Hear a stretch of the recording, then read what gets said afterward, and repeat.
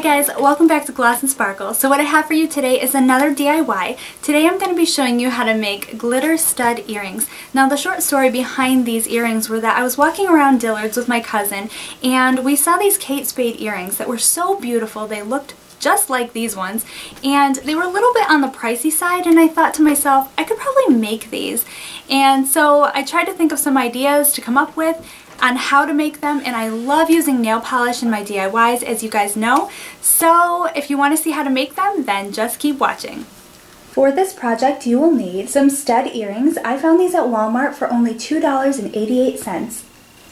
You'll also need some glitter nail polishes of your choice and that's it. So all I've done is stick them in a little piece of foam so they stay in place while I paint them and now I'm going to go ahead and apply my first coat of glitter.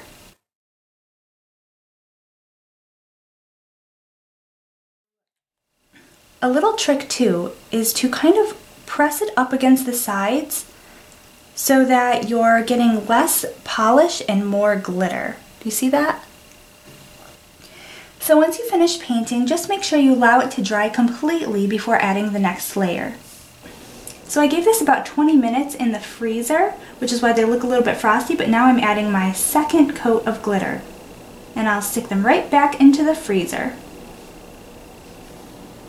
Now I'm going to go in with even more glitter because why not?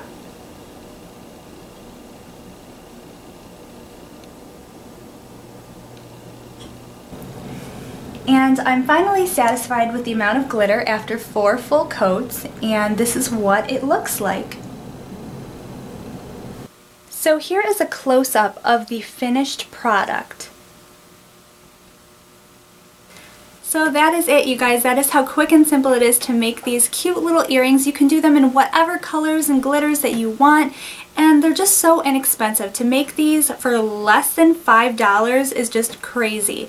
So yeah, if you enjoyed this DIY, please let me know. And if you want to see more, let me know that as well. And I will see you in my next video. Thanks for watching. Bye!